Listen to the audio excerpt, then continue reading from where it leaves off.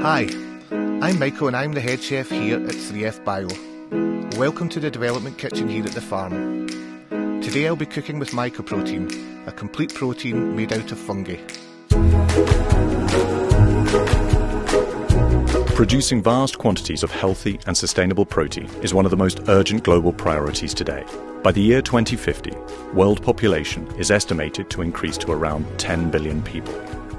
To be able to sustainably feed the Earth's growing population, we need to diversify our protein production. We can help meet this need by growing mycoprotein, a sustainable source of protein that uses less resources than traditional protein choices.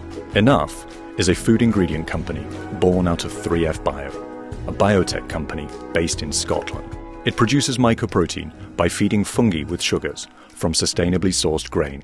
The fungi converts this sugar to protein incredibly efficiently through the natural process of fermentation, similar to the production of beer or wine.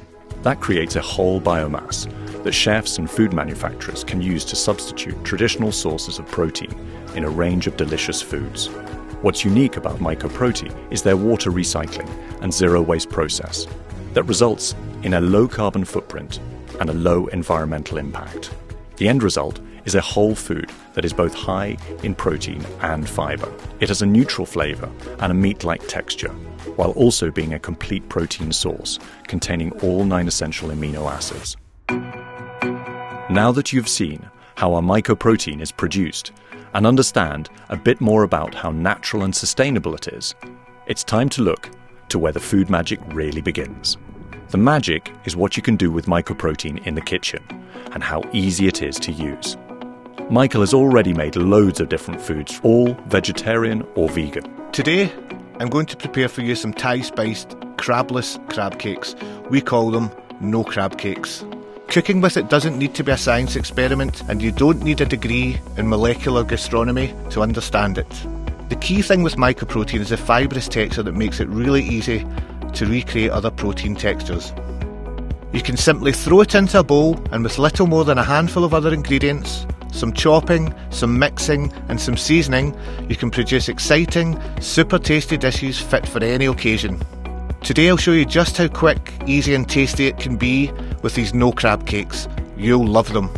Cue my recipe board. The spring onion, ginger, chilli, garlic, lemongrass, coriander, and lime in there, and after that, all you need to add is some seasoning and panko breadcrumbs to bind it. Shape them into patties, dust with a little flour, then pan fry in some oil for a few minutes on either side, before serving with some salad and a nice dipping sauce. And there you have it super tasty, Thai inspired, no crab cakes. Add a garnish and drizzle with a little homemade glaze to make the perfect dish.